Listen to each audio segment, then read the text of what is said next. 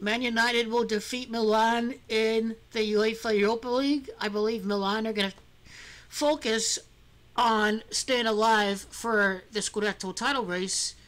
Uh, in this case, uh, well, f- first of all, every single UEFA Europa League video is going to be posted in.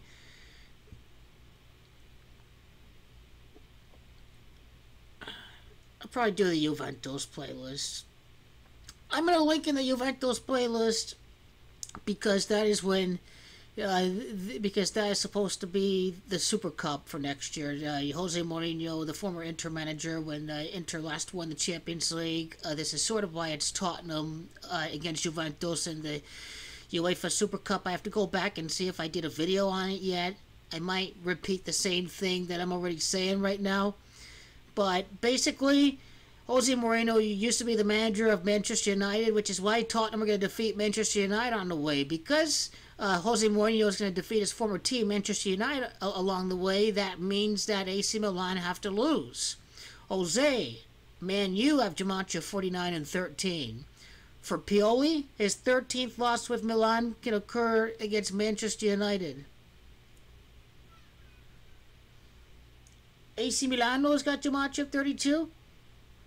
Ole Gunnar Solskjaer, is he going to draw again one more time uh, before drawing against AC Milan? Maybe Man United win the first game and it all it takes is a draw to advance to the next round. That's what I see playing out most likely is that Tottenham will face off against Manchester United in the UEFA Europa League, in which for Jose Mourinho, for Jose Mourinho, I don't know if he signed an Irishman from Tottenham. Well, I can uh, break down the UEFA Super Cup video uh, number two, number three, but what you're missing is that you know, uh, you know I'll just say, say it again. Mourinho won the Champions League with Porto. Juventus beat against Porto last manager and to win the Champions League for the country of Italy. So uh, you start to see why it's lined up for uh, for Tottenham to face off against them. And for, for Jose Mourinho, Jose Mourinho, if, if Tottenham flunk in the league, if they get drawn against Man United in, in the next round, uh, it, will the 44th win occur against the... Will he, will he be at 44 wins before taking on the Red Devils? That's very interesting. Is he going to be at 49 when they take uh, when they take on Man U? I mean, this could probably be a semifinal matchup. It's going to happen at some point, regardless.